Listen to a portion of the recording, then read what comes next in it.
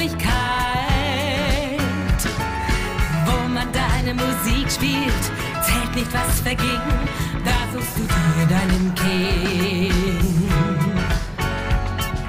Du hast Sehnsucht und du bist frei und vom Sound der Musik aus high.